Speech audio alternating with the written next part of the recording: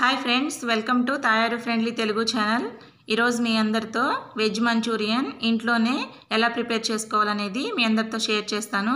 దానికోసం ఫస్ట్ ఒక బౌల్ తీసుకొని నేను త్రీ కప్స్ తురుముకున్న క్యాబేజీ వేసుకుంటున్నాను.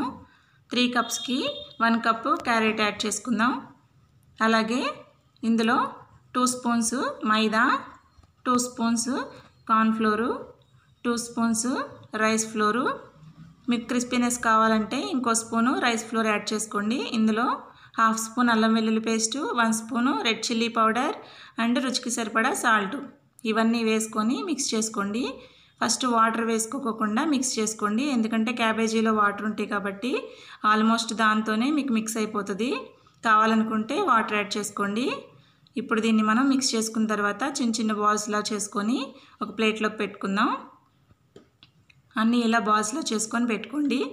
నెక్స్ట్ మనం ఒక చిన్న బౌల్ తీసుకొని ఒక స్పూన్ కార్న్ఫ్లోర్ వేసుకొని కొంచెం వాటర్ యాడ్ చేసుకొని మిక్స్ చేసుకుందాం. ఇది గ్రేవీ కోసం అనమాట కొంచెం టూ స్పూన్స్ వాటర్ యాడ్ చేసుకొని మిక్స్ చేసుకొని పక్కన పెట్టేసుకోండి. స్టవ్ ఆన్ చేసుకొని డీప్ ఫ్రైకి సరిపడా ఆయిల్ పెట్టుకొని ఆయిల్ హీట్ అయిన తర్వాత మనం ఫస్ట్ ప్రిపేర్ చేసి పెట్టుకున్నాం కదా బాల్స్ ఆ బాల్స్ని ఆయిల్లో యాడ్ చేసుకుందాం. ఇలా అన్ని బాల్స్ని మీరు స్లోగా ఆయిల్లో వేసేసుకోండి. వేయంగానే వీటిని కదపకండి. కొంచెం ఫ్రై అయిన తర్వాత స్లోగా తిప్పుకోండి.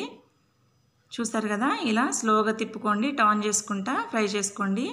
ఇవి డార్క్ గోల్డెన్ బ్రౌన్ కలర్ వచ్చే వరకు మీరు ఫ్రై చేసుకోవాలి. చూడండి డార్క్ గోల్డెన్ బ్రౌన్ కలర్ వచ్చిన తర్వాత వీటిని ఒక ప్లేట్లోకి తీసేసుకోండి. నెక్స్ట్ మిగిలిన వాటిని కూడా అలాగే వేసేసుకోండి. ప్యాన్ తీసుకొని ఒక స్పూన్ ఆయిల్ వేసుకొని సన్నగా కట్ చేసిన వెల్లుల్లి వేసుకోండి. అలాగే సన్నగా కట్ చేసిన మిర్చీను సన్నగా చాప్ చేసిన బీన్స్ అలాగే మీరు సన్నగా కట్ చేసిన కొన్ని ఆనియన్స్ని కూడా యాడ్ చేసుకోండి.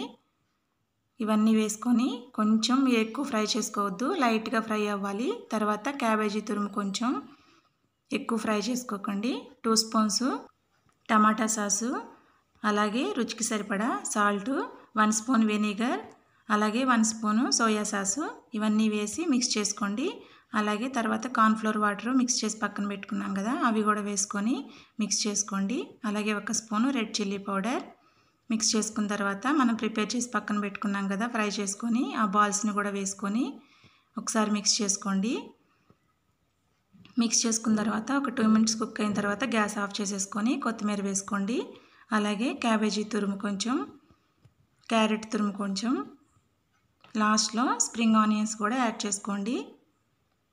ఈ టేస్ట్ చాలా బాగుంటుంది. సో ఫైనల్లీ వెజ్ మంచూరియన్ అనేది రెడీ అయిపోయింది.